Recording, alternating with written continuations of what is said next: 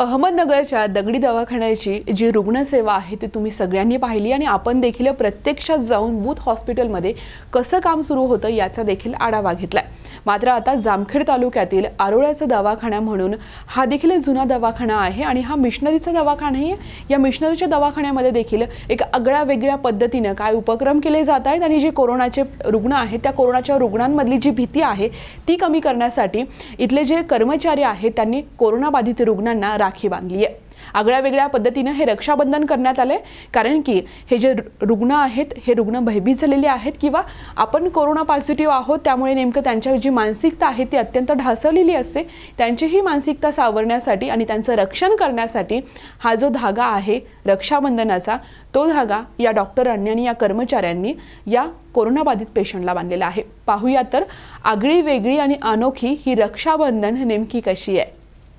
जगभर कोरोना महामारीचं थैमान सुरू असताना शासकीय यंत्रणा हतबल होत आहेत. कोरोना विषाणूचा प्रादुर्भाव वाढतच आहे. कमी होण्याचं नाव घेत नाहीये. अशा काळात शासनानं हॉस्पिटल कमी पडत आहेत. शंभर वर्षाहून जास्त नगरचा दगडी दवाखाना आणि चाळीस वर्षापेक्षा जास्त जामखेडचा आरोळ दवाखाना. आजही तुटपुंजा कर्मचाऱ्यांसह अहोरात्र आपत्कालीन परिस्थितीमध्ये रुग्णांची अहोरात्र सेवा करतोय. या कोरोना महामारीत या ठिकाणच्या मिशनरी स्पिरिटचा प्रत्यय आलाय. जामखेडमधील ग्रामीण आरोग्य प्रकल्पात मार्च महिन्यापासून सहाशेहून जास्त क्वारंटाईन तसेच पॉझिटिव्ह रुग्ण औषध उपचारासह जेवणाची व्यवस्था इथल्या प्रकल्पातून होतीये.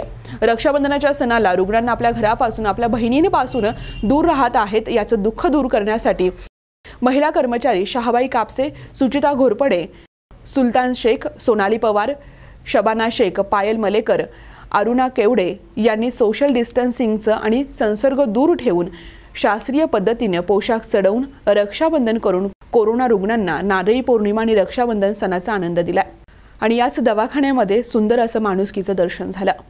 आरोळे हॉस्पिटलचे संचालक डॉक्टर शोभा आरोळे आणि रवी आरोळे वैद्यकीय अधिकारी डॉक्टर प्रशांत खंडागडे आणि इथले कर्मचारी आमची प्रेमळपणे आणि खूप चांगल्या पद्धतीने देखभाल घेत आहेत असं देखील इथले रुग्ण सांगतायत. आमदार रोहित पवार तहसीलदार विशाल नाईकवाडे तालुका वैद्यकीय अधिकारी डॉक्टर सुनील बोराडे डॉक्टर युवराज खराडे हे देखील वेळोवेळी या ठिकाणी भेट द्यायला येत असतात असं देखील त्यांनी सांगितलंय.